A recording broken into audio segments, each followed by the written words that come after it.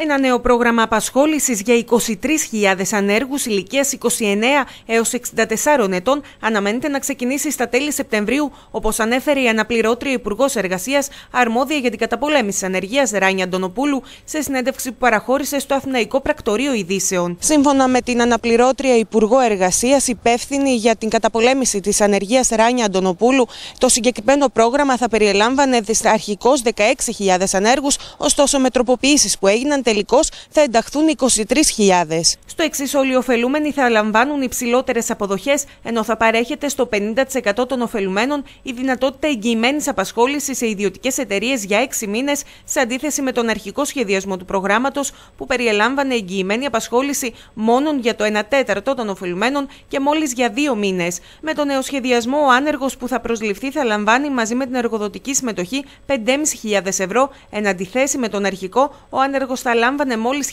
1.600 ευρώ καθ' όλη τη διάρκεια του προγράμματος. Στη συνέντευξή της, η κυρία Αντωνοπούλου κάνει ιδιαίτερη αναφορά και στη νέα γενιά προγραμμάτων κοινοφελούς εργασίας που στοχεύουν στην επανένταξη των μακροχρόνια ανέργων στην αγορά εργασίας. Συνολικά, όπως υπογραμμίζει στο πρόγραμμα, θα ενταχθούν περίπου 43.000 άνεργοι. Τονίζει δε ότι για πρώτη φορά το πρόγραμμα είναι οκτάμινης διάρκειας με πλήρη ασφαλιστικά και εργασιακά δικαιώματα όπως κατοχυρώθηκαν έπειτα από νομοθετική ρύθμιση του Υπουργείου Εργασίας. Παράλληλα, η κυρία Αντωνοπούλου, μέσω της συνδευξής της, αναφέρεται και στο σχεδιασμό του Υπουργείου Εργασίας για την ενίσχυση της απασχόλησης στις μικρομεσαίες επιχειρήσεις. Σύμφωνα με την αναπληρώτρια Υπουργό Εργασίας, τον ερχόμενο Οκτώβριο θα υλοποιηθεί πρόγραμμα επιχορήγησης επιχειρήσεων για την απασχόληση 10.000 ανέργων ηλικίας 30 έως 49 ετών σε επιχειρήσεις του ιδιωτικού τομέα, συμπεριλαμβανομένων και των μικρομεσαίων επιχειρήσεων. Σε ό,τι αφορά στα προγράμματα που απευθύνονται σε συγκεκριμένους κλάδους της οικονομίας, η κυρία Αντωνοπούλου επισημαίνει ότι στις προτεραιότητες του Υπουργείου